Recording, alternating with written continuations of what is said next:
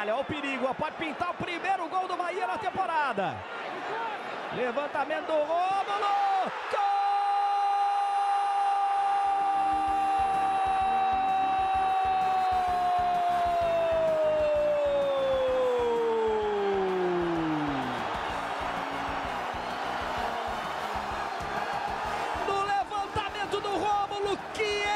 Desvia, bota a bola lá dentro, novo. Vamos ver de novo. Não sei se ele toca nela. Não sei se ele toca nela.